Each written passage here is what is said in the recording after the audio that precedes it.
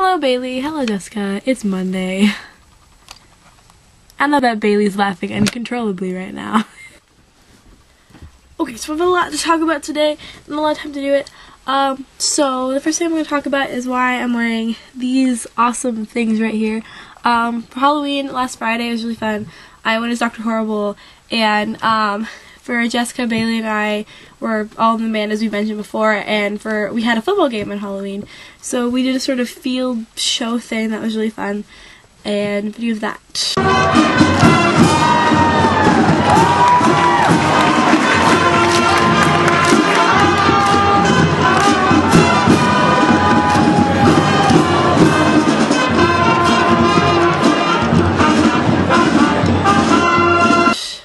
And then um, out of that, we went to a party where, uh, well, Bailey and I went to a party where we discovered that if I put my goggles on like this, especially when I flip them up, she she starts. It's it's really funny, and she laughs uncontrollably. Okay, so this is really funny. Oh, no, don't, don't.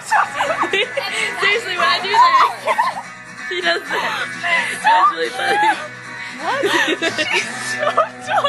she looks like she's fine. Part two, um, interesting challenges.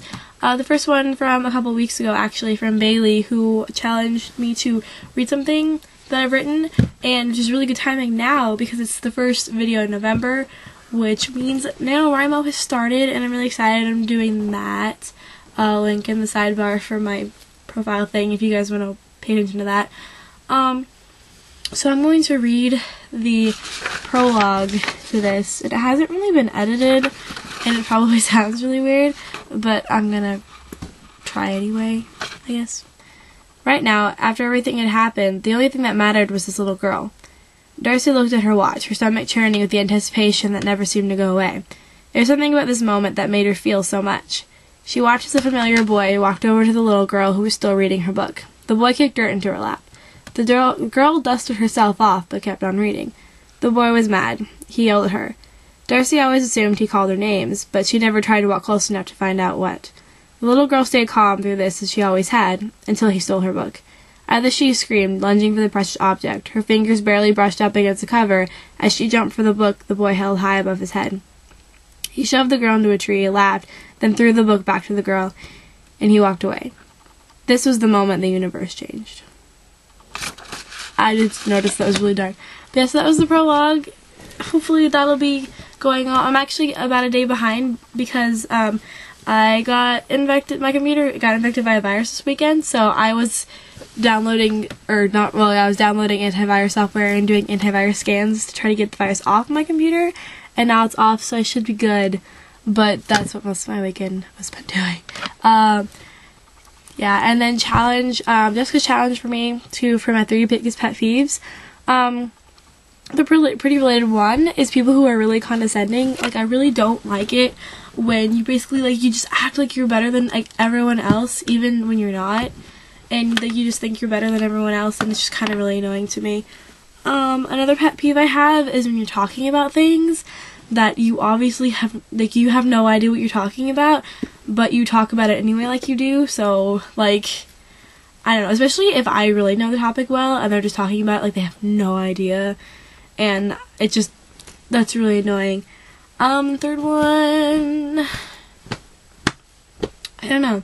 The third one would probably be um just things that waste time. Like I mean I'm all for like goofing off and stuff, but like especially at school, like if you're sitting there and you're having this really stupid assignment that does you no good and it's just a waste of time, that really gets on my nerves too. I don't really like doing something that's a complete waste of time. And now, before I explain the challenge for this week, um, it was, I guess, one of our viewers that the three of us know in real life, um, Nick, who's also done an intro on one of Bailey's videos, he told, he told us that basically he wanted someone to be punished after last week was kind of lame with computer problems and me being sick, and yeah, so we decided that he wanted to punish somebody, and he decided to punish Bailey. And Bailey, you're probably going to really be mad at him and punch him or something at school tomorrow. But his challenge, or pun- I guess it's more of a punishment for you, is that he wants you to speak in grammatical errors like your entire video. If you want more of an explanation, ask him before Friday. But he just wants you to make a whole bunch of grammar errors in your video. Okay, now my challenge for whoever I gets picked by these things um, is to play part of a pep band song. Okay, so this I've been sick for a really long time, and I just have this on my desk. Um, we're gonna use Dayquil and Nyquil to have little swallowable things. Um, Jessica's gonna be the orange Dayquil, and Bailey's gonna be the green Nyquil. And yeah, here we go. It's kind of random. Oh, let's check it up again. Uh, it's green. So Bailey, you get to play your trombone for pep band, which is exciting because I like the trombone. Okay, this was probably a really long video. I haven't edited it yet but this could computer.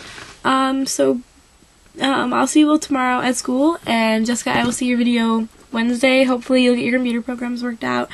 And Bailey, I really hope you didn't challenge me because I haven't gotten YouTube to work on my computer. So if you challenge me, I'm doing your challenge next week, or you could have told me at school today. So I'm hoping you didn't challenge me. So yeah, I will see you guys tomorrow, and I'll see your videos this week. Hopefully. Goodbye. I love you.